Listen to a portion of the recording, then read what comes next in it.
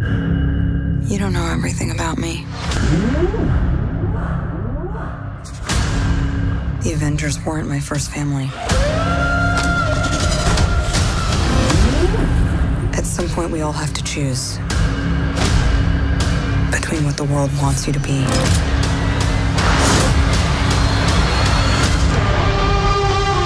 and who you are.